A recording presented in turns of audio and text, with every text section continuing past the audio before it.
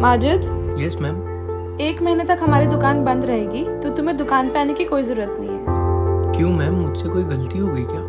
नहीं नहीं और सैलरी की कोई टेंशन मत लेना तुम्हारे अकाउंट में पहुँच जाएगी ठीक है? ओके मैम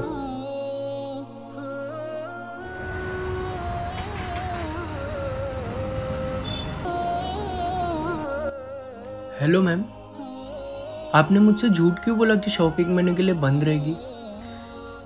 ऐसा मैंने आपको इसलिए कहा क्योंकि हमारी केक शॉप में केक टेस्ट करके बनाया जाता है।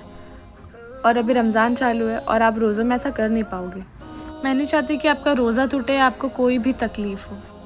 मैडम आप जैसे मालिक बहुत कम लोगों को नसीब होती है।